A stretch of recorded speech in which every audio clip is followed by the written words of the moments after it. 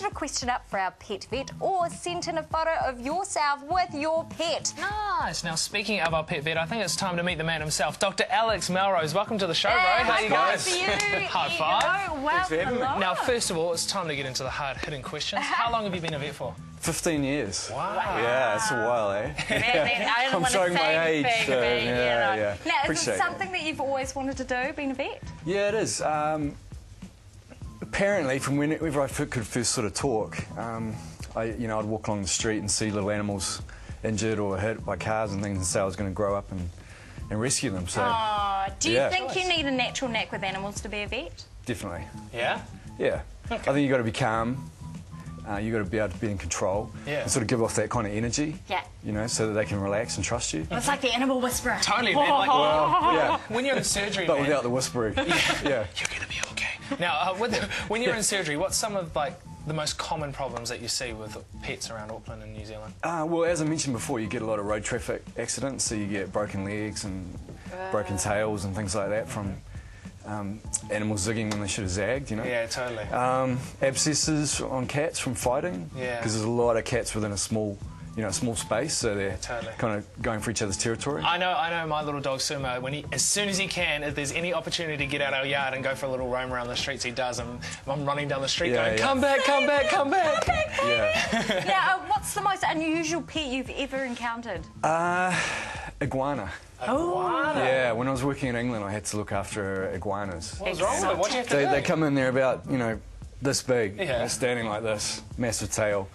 Pretty, they're pretty intimidating looking yeah, things. I used to like go All towards it, spiky. like you know, like don't yeah, me. yeah, Do you have any pets yourself? yeah. I've got cats. Yeah, I've got um, Burmese, and I've got uh, also a domestic short hair that lives at the at the clinic. Oh, fantastic! Yeah, now, just what's, around. what's the weirdest pet name you've ever encountered?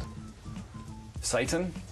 Really? Who would call their, who would call their Yeah, oh. pet that? That's horrible. yeah. And interestingly enough, the cat was really, really vicious. Oh, So I oh. think, I think, oh, but I, th- I think they named it before that, so I don't know if it sort of was bad luck. Oh, no. Well, enough of our questions. If you have a question for Dr. Alex Melrose, Dana, what's the deal? What you need to do is come along to the-hub.tv, click on Hub Talk Studio 2, and there are a whole bunch of questions already, so make sure you put them up there. It's time for a break. When we come back, we'll be putting the questions to the doc. We'll see you soon. Hello, and welcome back to Studio 2. As you can see, the doctor is now in the hub. Is it cool having, you like, doctor in front of your name?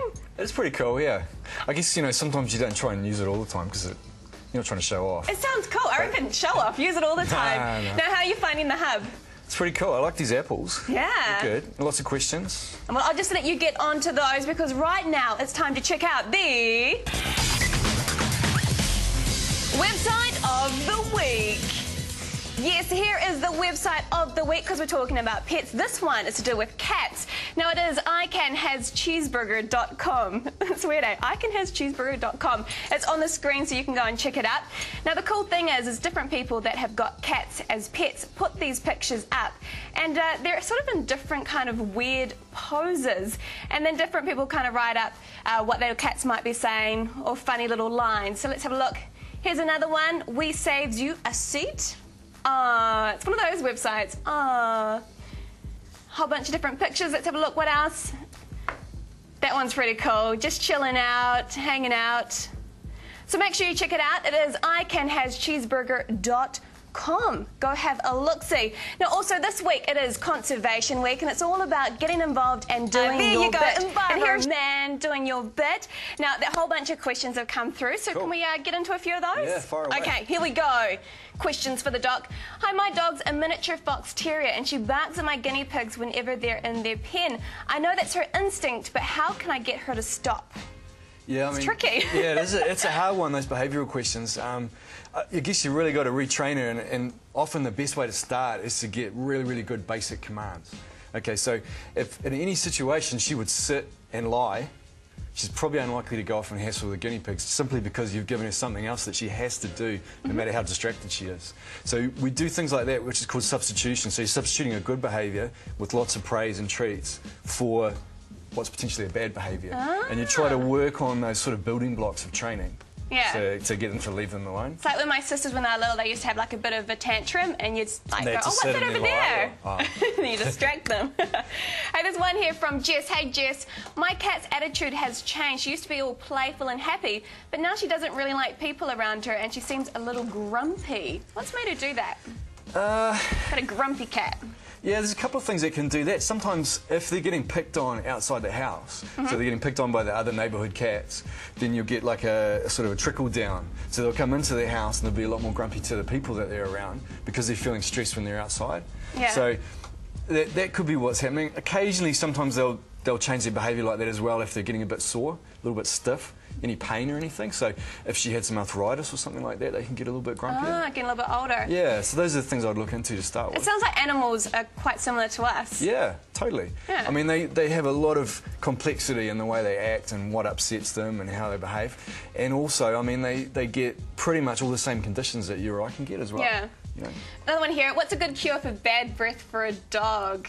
And how do I look after its teeth? That's from Dark Hunter.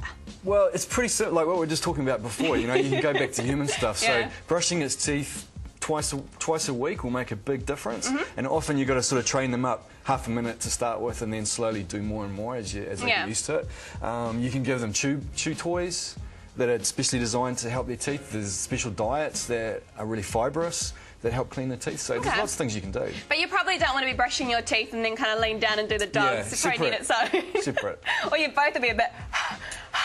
Uh, now, there's a whole bunch of great questions that have come through. You're going to be online trying to answer them. I'll be here for a while. You're here for a while? Yeah. Good. Vicky and Jordan, they're over Got some great New and they've got Zealand music. Do you have a favourite New Zealand band or artist? Yeah, Golden Horse. Um, Ah.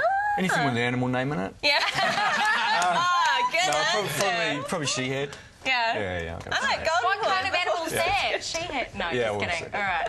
No, that's not really a pet Mix the letters though. up, see if you can I've make got a pick question. I've got a Yeah. pick question. Now, Go. of course, I've got my little puppy Sumo, Yeah. and uh, he was a bit tough to toilet train, to say the Uh-huh. least. So, And when you say puppy, how old is he now? Uh, just about to turn one year old. Okay. So we got him at eight weeks old, and uh, yeah, we used to wake up. Well, I didn't wake up because I was not tired anymore. I woke up because I could smell some stuff in my room. Yeah, so, yeah, yeah. What's the best way to toilet train your little puppy?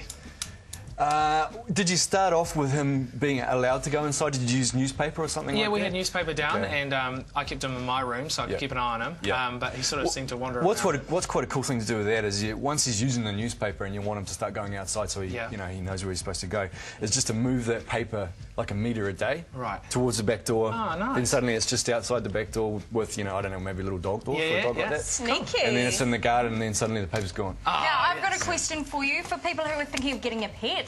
Which one is the lowest maintenance? Goldfish. Yeah. really safe. Yeah, nice. Yeah. Now, also with Sumo, of course, I want Oh, to get. thank you so much. Sumo, mate, he's a side show, but I want to get, Baby. I want to get a bigger dog. Now, Yeah. Sumo's a little fluffy dog. Yeah, I want to yeah. get like a, a Rottweiler, like a one I Yeah, can go run yeah. around the streets with. Yeah, to help you sort of. What's going to happen? Is he going to eat Sumo like think he's lunch? Like does No, it matter that Sumo's no. older? I think if you if you got the big dog as an adult, there could be a problem. But as long as you get him as a little puppy, Mm-hmm. Yeah. Sumo's actually going to be the boss. Oh, cool, Okay, cool. so he's going to grow up as the boss, and as long as you get a lot of training in with the Roddy, mm-hmm. so that he you know he knows his boundaries, and knows. Yeah. what he's supposed to do, you'll probably keep that relationship right through. So- Nice. Oh, Right- and then you'll writing be it down, A I'm nice, sorted. happy family. Yeah. I'm all Now, sorted. A lot of you guys on the hub have been asking about uh, your pets and cats and dogs mainly that are a little bit overweight. Now they want to know what's a safe way to have put them on a bit of a diet and trim them down. What can you suggest? Uh, I guess just not feeding them junk. You know, the same kind of advice you give to give to yourselves, give to Yeah. people. Keep them active. Lots of walking for dogs. So you know, with sumo, we're going to go back to sumo. Yeah. Um, he- he's got to, um, you know, you got to have him out every day. You got to have him walking every day, ideally an hour or so. Um, keep them fit. Um, you can actually get. You can actually get low calorie food as well if they're getting a little bit chubby. yeah. So it's got less, you know, less fat in it, drop a bit of weight that Okay. way. All good stuff. Now we've got to announce some winners. Of course, you sent in your photos, and we've got Hubses as well. First of all, I'm going to announce the Hubses who are winning. We've got Quinna Rocks, Dark underscore Hunter, SJ Shane, and Kate 23 IOU. Congratulations. And for those who have sent in photos today, congratulations to Josh and his mouse Bob, Jared from Stanwell Bay with his budgie Tinkerbell, Candace Scarlett and her turtle Roxy, Rye and her Pomeranian Cookie, Superdog Benny with Pirate Holly and Superboy Ruben, and lastly Tyler McLeod with Buddy. You guys are all going to see Jenny. Congratulations. Yay! Well done to you guys, but also thank you to you for coming and Thanks hanging out. me. We've had so many questions. Do you think you might come back again? Yeah, yeah, definitely. Yes, to. that would be good. Hey guys, hope you enjoyed the pet special, and we will catch you next time for more Studio 2. We'll catch you later, guys.